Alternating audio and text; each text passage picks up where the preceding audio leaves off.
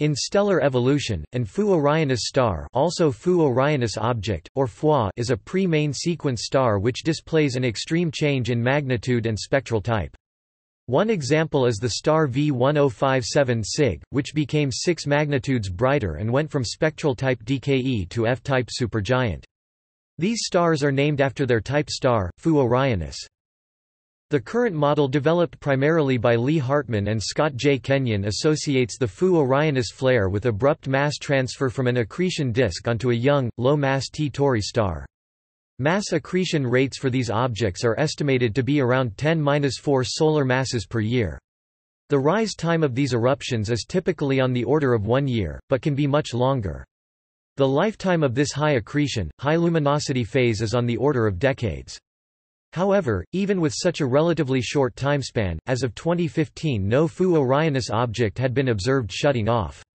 By comparing the number of FOI outbursts to the rate of star formation in the solar neighborhood, it is estimated that the average young star undergoes approximately 10 to 20 FOI eruptions over its lifetime.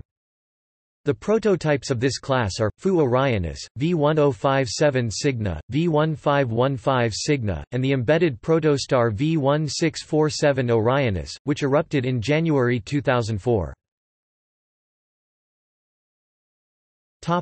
See also. Orion variable. T Tauri star. References Juhan Frank, Andrew King, Derek Raine 2002. Accretion Power in Astrophysics, 3rd edition, Cambridge University Press.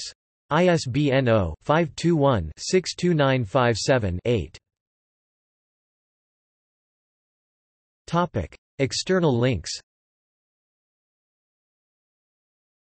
The Furor over Furs the 15th of November 2010 Discovery of possible Fu Ori and UX Ori type objects the 18th of November 2009 https colon slash slash web dot archive dot org slash web slash two oh oh six oh eight three one oh six oh eight one four slash http colon slash slash www slash vistar slash visat slash oh two oh two. SHTML